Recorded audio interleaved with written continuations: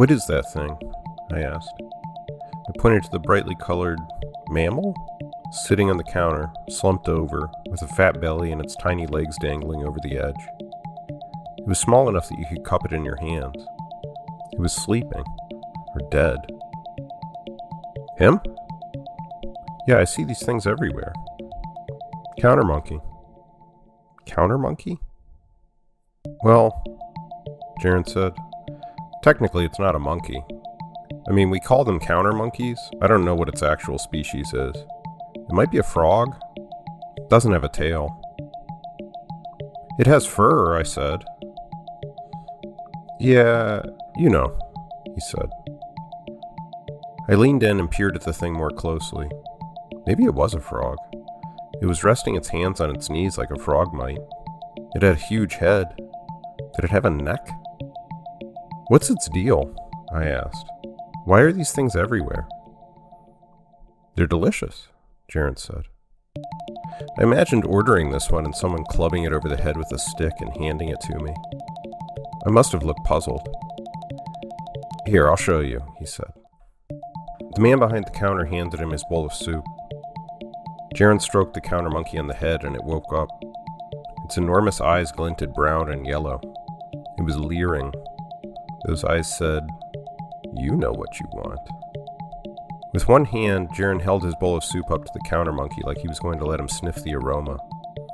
With the other, he took a firm grasp around its belly, pressing hard with his thumb. The monkey vomited a brown, sludgy crystal into the soup. Jaren stroked it on the head.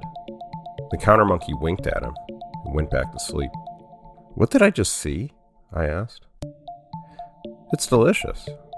I don't know how it works. Whatever you feed this thing, it has a few stomachs and it turns its food into, I don't know, pellets?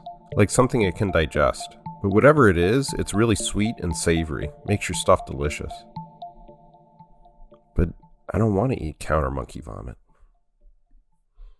You have to try it, Jaren said. I don't think I do, I said.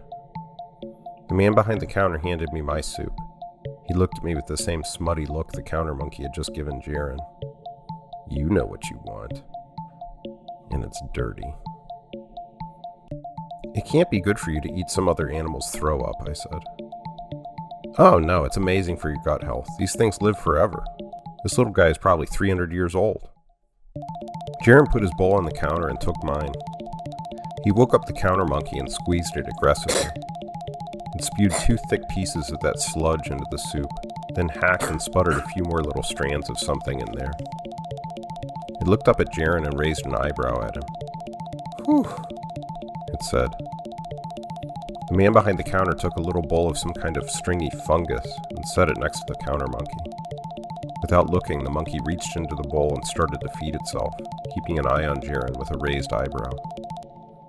Thanks, I said. No problem, said. You'll love it. Jaren paid for the soup. The little episode with the counter monkey had tripled the price. My fault, I guess.